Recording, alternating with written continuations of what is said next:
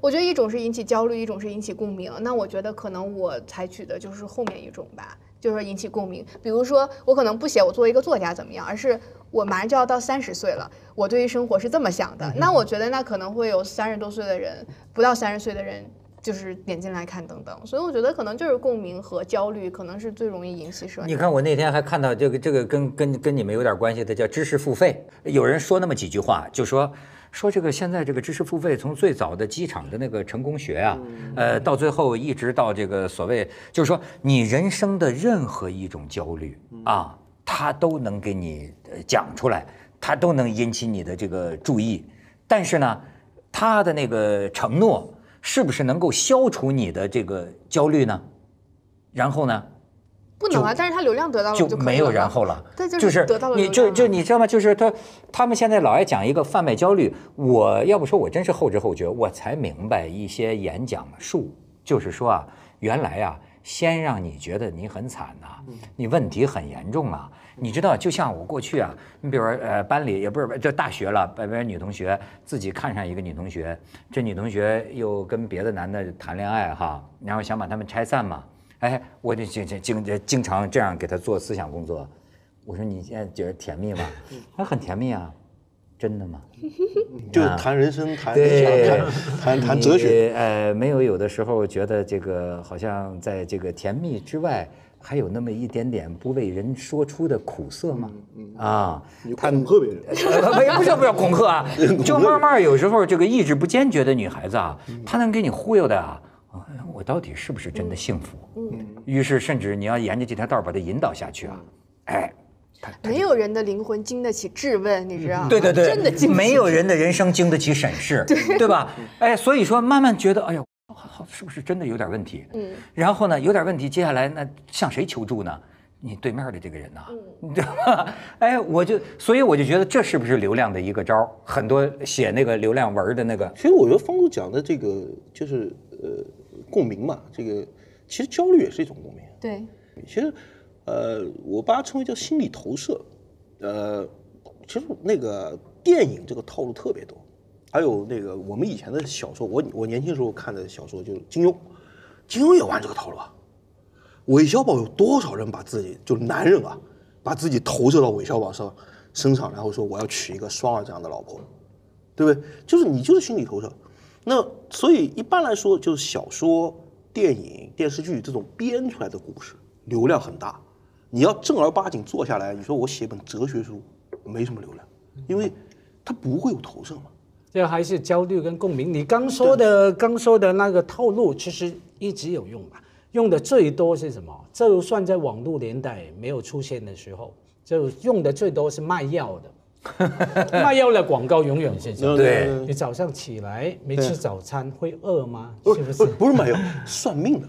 啊，再往前算命，再往前算命。可算命有一个好玩的，你甚至算命啊，不需要招来的，他们每个人总有挫败，穷算命，富潇湘啊，那呃呃不顺利才会去找你。可是卖药，你明明好好的，就问你早上没吃早餐会饿是吗？是，然后蹲下来起来会晕吗？会这样，呃焦虑焦虑就来，然后就去买他的药了那你有可能是呃高血压啊。他说有可能你就去，那跟你说句跟你同班的女生说你幸福吗？一样的道理嘛，让他引起焦虑是吧？只不过现在有了网络比较方便，而且呢，就是你知道他没有问题吗？我有时候觉得就是那都全全部甚至是做数据。问题是它是可以做数据的嘛？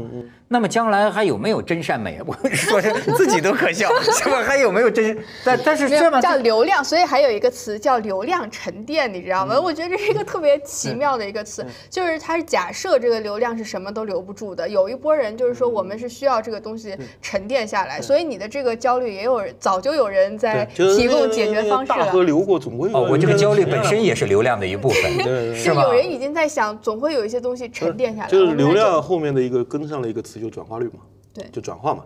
我今天有一百万人看我的东西了，他能不能沉淀下所谓沉淀嘛，就沉淀下十万用户，对吧？然后我为什么要沉淀这十万用户呢？因为我下次还想对这十万人做生意的时候，我就这个流量就是我的，我就不用去买了嘛，我就不用去刷热搜啊、刷刷抖音啊什么，这十万就是我的用户嘛。所以这个就是转化。那你比如说我我我要一个高流量，其实挺简单的，就是假设你足够有钱的情况下啊，你挺简单的，你就微博上投个热搜，刷个第一名，对吧？或者是把这个世界上最好的粉丝最多的一千一千个公号找过来，写一篇我窦文涛就是伟大的文章，流量就过来了。但问题流量来了以后，人家发现你窦文涛不是那么回事嘛，过不对版嘛，那就全走掉了嘛，对不对？大河过来就走掉了，那我总要想办法让它沉淀下来嘛。沉淀下来以后，我这笔花流量的钱就不会白花嘛。那我以后就这这这个概念很重要啊。呃，内地叫什么沉淀是吧？沉淀这个在商业用语叫 sticky，它有多粘着粘着你，呃粘着性你，只有流量没有用啊。你告诉我长期重复重复来的人是多少？哎，我还关心的是变现。现在我周围好多人说变现，就说流量怎么就变成钱了？所以你刚才说到那个知识付费，它就是有有一个现在有一个行内有一个担忧，就哗过来十万人买了你的窦文涛的一个什么情商课，然后过完一年以后，你发现这十万人没有人续费，没有人续费，就是大家一冲动买了，买完以后可能是听了一年，也有可能压根就没听一年，就听一个月或者听一个礼拜就忘记了，嗯，然后你第二年怎么办呢？你第二年就很难搞了，你又得花钱去买流量，你是需要付出成本的。那我能不能把这个东西沉下来？现在很多人担心的就是知识付费这一个一个一个 bug，或者很多人批评知识付费的地方，就是说来第一波没有第二波，就沉淀不下来。但是还有一种流量是不用买就可以获得的方式，就是蹭流量。嗯就是我像我一个朋友，他是一个作家的朋友，然后他的书莫名其妙的被一个偶像明星推荐之后，销量多了这个六六七万本，大家就是其他的作家真的真真的为他高兴啊，就说哎蹭流量成功了，你知道？然后我就记得去呃去年还是今年有一个很有名的一个事情，就是在那有一个网红就是流浪大师嘛，就是、嗯然后当时有一个照片我印象特别深刻，就是他像个流浪汉一样坐在地上，然后身边全是美哦女网一块就看那红。流量国学大师嘛，对对对那个姓沈的，对对对，然后旁边全是这个美女帅哥，然后就拿着手机就是跟他合影，大家就是所谓的蹭他的流量对。然后就是他不是一个人，他还是我刚刚说，他是一个流量入口，只要你流得近，他的身上的流量就可以流到你身上。那这个流量马上就能变成他挣的钱吗？呃，他可以啊，可以啊，我一下从哪儿挣呢？呃，我做广做广告啊，或者是卖东西啊。刚一说嘛，私域我真不太懂，就会有这些商家密切的盯着每个人的流量一增加就说给他买广告。不是你你你要明白一个这个公式说出来很简单，就是交易成果等于覆盖量乘以转化率，这是一个很简单的公式吧？但是你倒推这件事情去想，就是我要那么多交易，你就必须有那么多的覆盖量和这么高的转化率。那么假定转化率给定了，只有百分之一啊，不可能再高了啊，那你只能做大覆盖量。对吧？一千个人把它做到一万，一万个人做到十万，你只要把覆盖量做大，在交易转化率给定的情况下，你的交易量一定是提高的。那那你其他事情不用想了，你唯一要想的事情就是覆盖，覆盖越多越好。今天这个流量大师，我去呃蹭一下覆盖一些人；明天那个流量小师，我去蹭一下覆盖一些人。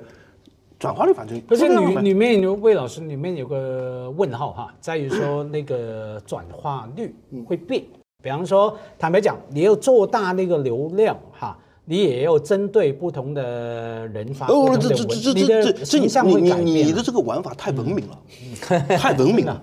就就在互联网上，有时候玩法就得粗暴一点、野蛮一点，不要去考虑细分，不要考虑精准，因为细分、精准都是要提升这个率的。我没空，我没空提升这个率，那这是我就把前面这个量做大就行了，对吧？我精准了，我细分了，那我可能转化率从一做到二，做到五，做到十，这也很好。但是这这太文明了，所以叫私域流量。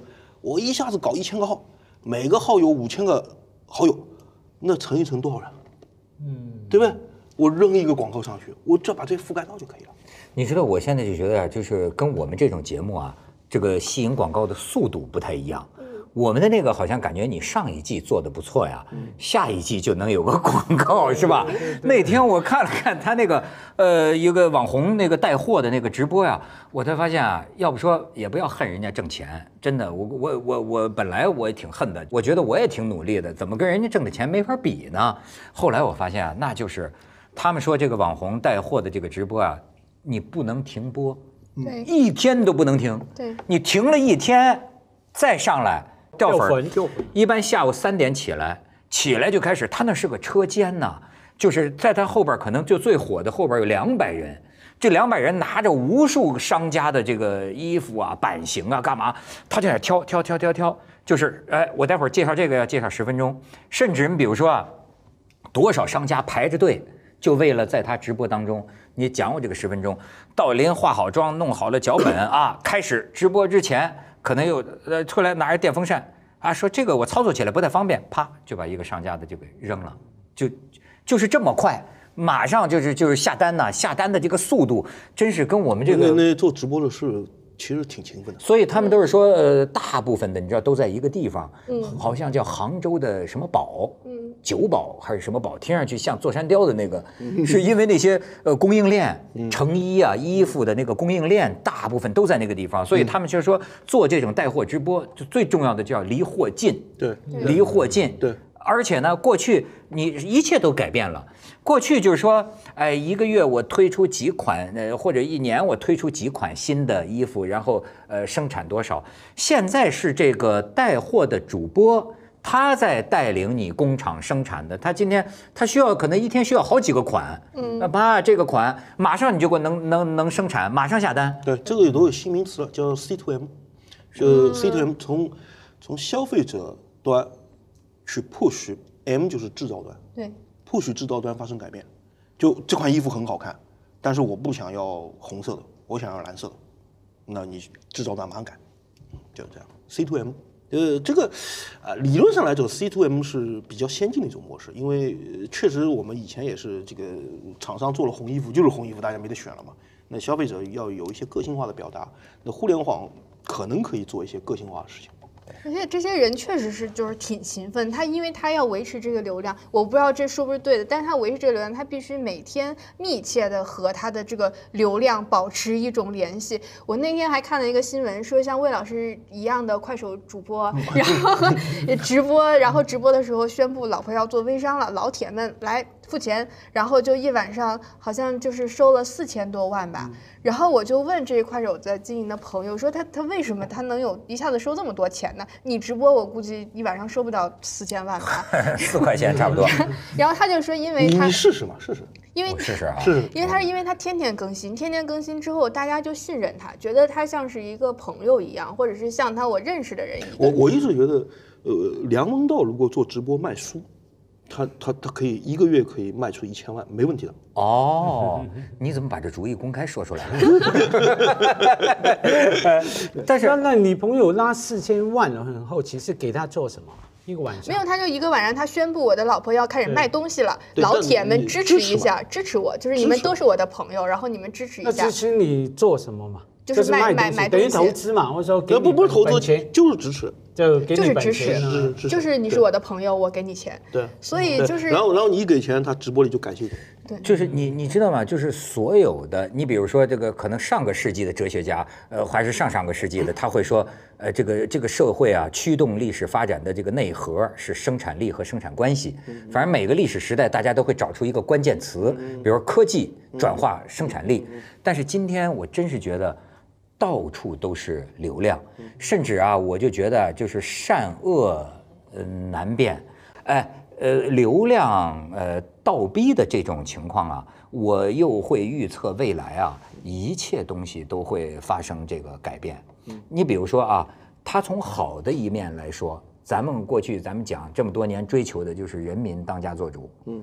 对吧？从好的一方面来讲，也确实是越来越为用户服务。呃，包括你说这个这个偶像的粉丝，其实他也有一份当家做主的，嗯嗯，对对吧？对，你你觉不觉得就是这个这个？我觉得人民的地位，还是说用户，还是消费者的这个地位在上升，对自我的存在感在加强，对，越来越觉得我也有扭转乾坤之力。对，这跟过去不一样。你比如过去，比如莫言式的作家，哇，他写个小说，我们只能膜拜，哇，托尔斯泰《战争与和平》。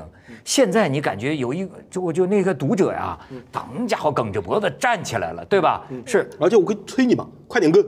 今天今天还对还不行。更对对对，咱干嘛要这么写啊？你应该那么写，对对对吧？然后千万个这样，哎，对，所以我现在有的时候看手机屏幕啊，就所有的东西，你是主人，所有的东西在一块非常小的屏幕上面增强你的注意力。所有的 app 图标来说，看我吧，看我吧；所有的推送来说，你看我今天多好看。就是我觉得，当所有的东西在一个非常小的、呃狭窄的空间里面去争夺注意力的时候，我觉得那这个人的主人翁意识就变嗯得格外的强了。对，呃，但是也有可能这主人翁上瘾了。嗯，他自己也是也也也被一个东西所被一种瘾所所控制了。我记得上次咱们聊时光派的时候，家辉就说过一个，我就说现在一切东西都越来越快，人们的注意力的的这个越越来越容易分散。我觉得物极必反吧，有一天大家会厌弃这一切。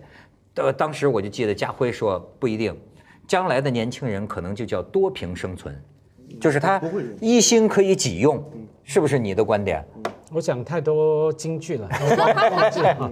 可是那个对啊，那的确是个挑战嘛。因为话说到底哈，你人有自由，可以去追求任何东西哈。那对于说，可是人我们刚也提到马斯洛啊，马斯洛这样这个哈，人有不同的欲望嘛。你总有一些讲追求意义的啊，追求我这创造的东西。我想起美国作家非常重要的 Norman Mailer 啊，诺曼呃米勒哈，他讲一句话说：我们写作的，我们创作的，不是我坚持创作，不是因为我相信世界上有读者，OK？那这个读者可以变成说，我不是我因为相信世界上有流量，而是我相信世界上有文学。就是啊，不管你流量是十万加、百万加、十个加，没有关系啊。我相信的是世界上有文学，那这是我觉得认真追求意义的人呢，一定有的。不管不仅是我们说的莫言几的作家，哈，所有人呐、每一个领域都是，你生命里面总有这个东西，不是被流量能取代的。我不是被我我觉得他们也觉得挺有意义的。那很有快感，不对表示快乐。而而且我有一个疑问，就是我我其实一直就觉得，其实流量有的时候其实就意味着被看见。那文学当然有意义，但是当这个所有的我刚刚说这个流量入口转移，大家都通过流量入口去看到一个东西，哪怕它货不对版，这个这个后来抛弃了也好，就是当你没有这个流量的入口的时候，是不是意味着你写东西你也不被看见呢？就像大家都用手机去认知一本书的时候，当你不加入这个竞争，你是不是就意味着不能被看见，不会被看见呢？现在比如像我这种人，我是不买纸质书的。然后有时候、有时候我的朋友会送我纸质书，如果我够熟的话，我会跟他讲，把你的那个 Word 档发给我吧，我保证不传出去，你别给我寄书，因为我家放不下了。所以呢，今天任何一本书，当我发现有这本书，它没有电子版，我是不会买的，真的啊、我是不会买的。就是我我真的放不下来，我我有十个书架眼，睛倒还挺好。那我我就是我不我，所以就是用这个专门去买这个电子墨水屏嘛，电子墨水瓶，就是 Kindle 那种，Kindle 那啊种，我我光 Kindle 大概就有四五个，但是 Kindle 没有办法用微信读书，所以我专门还买了另外一款可以用来看微信读书的电子墨水屏，然后我还有一些这种 PDF 格式的扫描版的书，那这种书当然你现在很难买到了。那 你放在那个 Pad 里面看是很累的，所以有专门的电子墨水屏来处理这种扫描版的书，看起来感觉很好。所以我我都是用屏在看的，就是你你就刚才方舟讲的，你的内容不出现那在那种场合，我会拒绝，因为没错老实说不存在，对，老实说，我少看本书又怎么样呢？我世界不会塌的，我不看莫言小说怎么样呢？没有关系啊。那如果莫言的小说能够变成电子版，啊，那我就看一下。你不变成电子版，我就不看。而且我觉得啊，就是好像在这样一个流量的人人争流量的这个时代啊，呃，咱们不能太敏感，嗯，对不对？很多问题啊，要这个脱敏。你比如说，你说你相信有真正的文学，那我这学新闻的，我还相信有真正的事实呢。你你你，比如说，我有时候看见一些个这个呃这个网文啊，但网文我也没看，我就看这个标题啊，自媒体的这种，啊，对呀、那个标题，你比如说，他把一个节目啊，比如说说我们圆桌哈、还一说，比如说就是这个啊，这个方舟跟马家辉激辩，啊，然后呢，那个窦文涛就看到这个目瞪口呆，局面 hold 不住了，然后又说啊，魏武辉的这个气场完全碾压这个蒋方舟，就把这个圆桌派说成了奇葩说的效果，你知道吗？当然我不是说奇葩说，那奇葩说看的人更多，问题是咱不是啊，那不是事实啊。哎，我还在说呢。我说这年头，难道连我们主持人这个行业也需要进行常识普及了吗？难道这个嘉宾们之间这个友好聊天儿，如果都能都给说成是怼人，那还怎么聊天啊？那如果如果如果主持人提的问题都代表主持人本人的观点，那世界上就没有主持了。可是我看了第三篇之后，我多明细啊！我才明白，不是人家这个作者对我这个行业没有常识。是我对人家这个行业没有常识，你以为他真不明白啊？他就是脑子里有一个战争一样的，他因为人是嗜血的，所以他写这种文，你看你发现没有？所以我有时候觉得真的是善和恶我不好说，但是从我的感觉上来说，他可能会让我们很多人变得脾气越来越不好。因为呢，人的本性啊，我记得王蒙老师就说过，他说我总是发现在人性当中有一个角落是嗜血的。有的时候，这个看客呀，他有一种嗜血的人性。嗯，那你看现在的标题，人与人之间的不和，嗯，他掰了，他打他了，他斗争过了他了。啊，这个东西有流量，嗯，对啊。可是如果满眼都是这个的话，那我们影视剧是这样的呀，成天就是斗啊，各种各样斗啊，宫斗啊，对对，你看这种斗啊，你看就是吗？所以我觉得它其实流量思维背后的逻辑就是说，这个事情的本质是什么已经不重要了。其实你说的这个，它我觉得它在新闻上面更，或者说机构媒体上，我觉得它它更明显，就是好多机构媒体辛辛苦苦采访，然后可能两三个月采访写了一篇稿子，然后它这个事实就被一个自媒体用了一个非常耸动的一个。个标题添加了非常多细节，变成了一个十万加的文章，那就会有这个机构媒体说：“我这么辛苦把这个事情本质呈现给你，那那那为什么？那为什么你还洋洋得意的？你还不知悔改？”那自媒体说：“我这人看的看的人多，所以我觉得流量思维背后的逻辑就是说，这个事情它本质是什么已经不重要了，但是我被看到就是比这个事情本身的样子更为重要。所以它的名字就叫做流量嘛，它不是叫做新闻嘛。其实你说小说。就算是所谓的经典，所谓的上了这个文学殿堂的小说，它也是制造冲突的。所有成好的电影、好的电视剧、好的文学作品，一定要制造冲突。对，不制造冲突谁看啊？没人看。你说的非常好，那么就意味着，这个真实的世界也变成了一部小说。对，那么现在就是被制造成了。对，那就只负我们都是演员，都是标签。哎，你们俩都是作家哈。那这种就我就说，现在在进入到了这个时代，你写的东西的时候，你不受这个流量的影响吗？所以，我我我我自己就是觉得，对于我来说，我就是说我，比如说上节目，好经营微博，我就是把这个门做好，把这个门做大。按照他说覆盖率，把这个门做大。那你进来之后，你发现哦，原来你不是一个什么跟马家辉互怼，跟够窦文涛互呛，然后被马未都这个这个怒怒斥 碾压，被魏老师碾压的人，他有的就有的就散去了，有的就沉淀了。所以对于我来说，可能那剩下的百分之十、百分之五是重要的吧。嗯，家辉呢？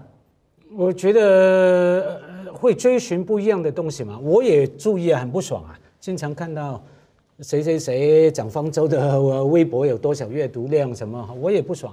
可是我知道我做什么哈，我那个部分追求的是快感，我快感啊，我我还不叫做快乐，有意义的事情才叫快乐哈，快感嘛。哎，我今天。呃，阅读量高了，比蒋方舟高，比窦文涛高，什么？或者说有人称赞我，我不是说我需要称赞的吗？花钱加入夸夸群啊，对吧？或是要要要别人夸我嘛？就等于是说，你做流量，你就知道做流量。你写，你说写个网络小说，fine，可以，那那就公开，然后卖了一千万本啊，你知道你做什么？可是等于你创作小众的，甚至没人看的。我刚说那美国作家所说的，我。不是因为我相信读者，是因为我相信世上世界上有文学啊。那所以说你就知道你做什么嘛。最主要是你知道你要做什么，就等于做人一样。我经常强调，在网络世界也好，在现实的呃一样嘛。你知道你在做什么？你看，我觉得我的选择呀，就是选择无知。嗯，我不知道，因为什么呢？我后来发现呢，谁也别瞧不起谁。比如说我做节目，我也希望流量导向啊。其实我真的我无所谓的，你们爱听什么，我谁能告诉我？但是问题是你们你们自个儿都不一样啊，我实在不知道。如果有一个人冥冥之中告诉我，你聊这个，你就能够获得最大的流量，我当然愿意啊。咱不就是干这个的嘛，对吗？但是问题在于，实际上你。我就觉得就无从揣测，每一个观众他对你的希望可能都不一样。对你要假模假式的你去琢磨，这次收视高了，这次收视不高，然后你的这些原因，你知道就跟他们拍电影似的，拍一个爆款出来说哦喜剧片火，你拍一个你就掉沟里了。但还是有人用这种方式去做。嗯，那个比如说美国的这个呃网飞，对吧？就我们也有人叫它奈飞，对呃 Netflix Netflix，就是用大数据来指导电视剧生产嘛。呃著名的案例就是《纸牌屋》嘛。嗯，国内也有啊，国内有一家公司叫科顿，后来被华策收购了，当当时应该超过十个亿吧人民币。那科顿就是专门去用数据来来来琢磨说这个电视剧该做什么样的套路啊，做什么样的类型片啊。但是流量代表价值吗？我觉得不，我觉得不代表。而且我想回应你刚刚说，就我觉得你说谁也瞧不起谁，这个我最近特别有感触。就比如说对你来说，可能有时候我们会觉得这知识付费有的时候还稍微谈到的时候还稍微有点看不起，还稍微觉得是哎呀我们这时代怎么这样啊？但是我后来意识到，其实对很多人来说，他去知识付费对他来说是一种上升。你就像我对很多人来说，可能他买拼多多，他就觉得我这是哎呀我消费降级了我觉。得知识付费就对很多人来说有其实是有很有很多误会。对，呃，我我在豆瓣上买了六七个知识付费节目，比如我我举个例子，它里面有一个节目叫《哲学思想史》，八十讲，是人民大学的一个哲学教授讲的，我全我全听完了。哎，还有一个呃人大的呃不是人大，应该是清华的一个新闻传播学院的老师讲那个呃传播学，我们老师，我清华新闻学院可能的。是你们，但这就有知识付费有卖情商课的，卖职业生涯课的，也有正儿八经做学术的，还有那个呃复旦的一个历史老师叫侯阳芳，挺有名的，侯阳芳也是个大逼啊，做的这个在喜马拉雅上喜马拉雅上说的历史课，呃，这这我觉得对我来说是 OK 的。而且对哎很多人来说，他会觉得，你看我原来只是用这个流量和时间去刷刷短视频，去看快手，现在我还知识付费了，你知道，对他来说，它是一种提升。所以我后来觉得，真谁也瞧不起谁，咱们也别嘲笑那些。所以我们我们中国其实大学生很少的，那还有更多的人，你你你真的你会在你眼中这个更不是知识，对他来说就是知识。我觉得这个对我挺有好处的。你比如说我要走跑步机哈，对对对哎，我我就我我或者开车都可以哎，我现在就发现，我一天可以听一课。我后来发现，你没有一个这么整块的时间，对，呃，来看书。但知识付费就是我我我是用出版业的目光来看知识付费的。这个每年每年我们中国应该出三十万种图书，这个有一个什么话题火了，哇，一堆的什么小程序火了，一堆的写微信小程序的书，对吧？但是每年总归会出那么一些精品，而且这个精品一定是在三十万种图书当中一定是少量的。那知识付费也一样，你你如果用出版业的眼光去看知识付费的话，你会觉得这行有有烂的地方，但也有好的地方。可是它操作上面，呃，那个因为我有参与哈，它有一个我个人觉得是正面的哈，让那个知识付费是什么？出版业哈，出版界你基本上闭起门来写，可是主要创作者还是对对对对唯一的对对。可是知识付费做得好的，据我了解是一个团队的。对，啊，比方说流程是这样的，现在我讲十讲什么什么呃社会学史、心理学史啊，我通常要写个稿子出来，那个专业的团队告诉你，从音频的角度，你那个啰嗦不要，对。这干货太少了，要加什么，再给我，我再录，然后再来两三回合，然后呢，甚至什么呢？我先录完一段，他们还要找个编辑啊，到马路上面听，或者说在跑步机上面听，他要模拟上一个窦文涛这样购买者，你在那个状态上面听的声音音感好不好，语感好不好，然后最后才定本。所以说，从出出版业的角度来看，对，这是他那个知识付费，把读者啊，呃，就是受众跟那创作者连接起来非常有效嘛，哈。对。甚至对于创作者也是好的，对。他让我调教，更懂得从吃吃受众的角度来来创作哈，那是好